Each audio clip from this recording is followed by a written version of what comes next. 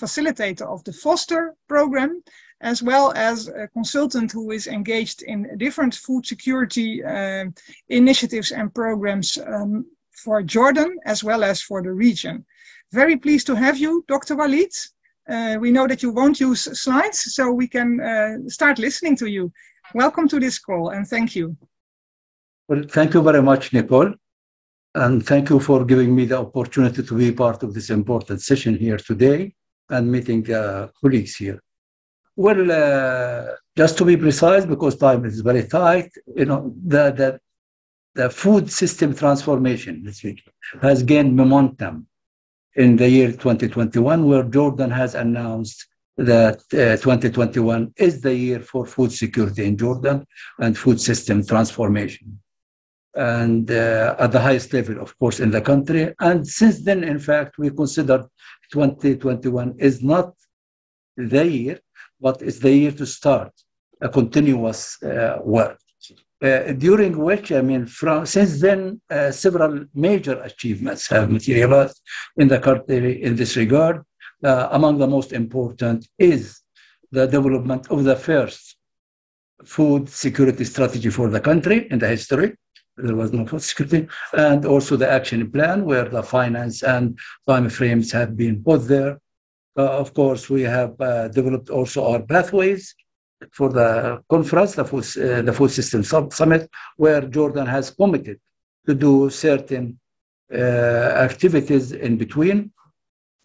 Uh, adding to that, uh, Jordan, despite the general uh, law in the country not to establish any new entities in the government, has established the Higher Council for Food Security, which I believe is very important governance step is not only has established this, but, but the prime minister himself at the top of this and has instituted that and creating of a special trust fund for food security, which is again very difficult because the Ministry of Finance and the World Bank normally they don't allow this. So this reflects the importance and the priority that Jordan is giving uh, to the food uh, transformation systems in the country. Now, we, we also in the final process now in Jordan to establish the food system uh, management information system in cooperation, of course, with UN organizations, WFP and uh, FAO Netherlands Embassy is very active also with us as a coordinator representing the donors community and the World Bank also represent the financier. Uh, this is also in the way, but at the present and in preparation for the, the stock taking mo moment uh, we are preparing the roadmap, food system transformation roadmap.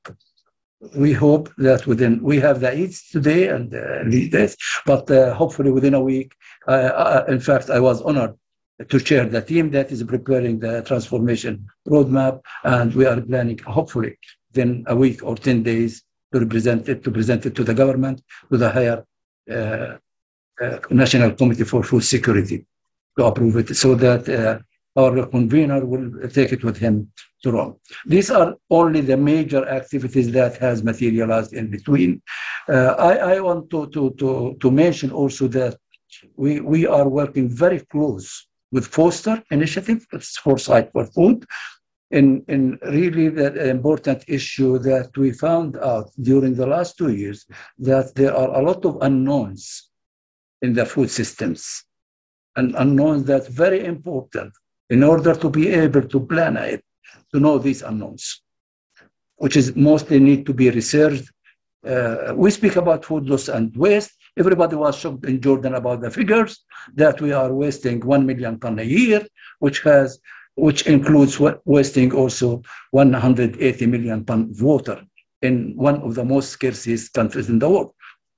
Where this waste happens and how and how much we can save from this waste, all these questions are not there. Same with food loss.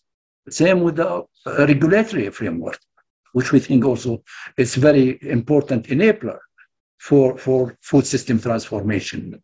Uh, we don't know a lot about what is the proper regulatory framework that needs to be in place in order to help the future transformation. So with Foster, we are doing, now we have identified these three main areas, but also speaking about the indicators, uh, just now you were speaking about this.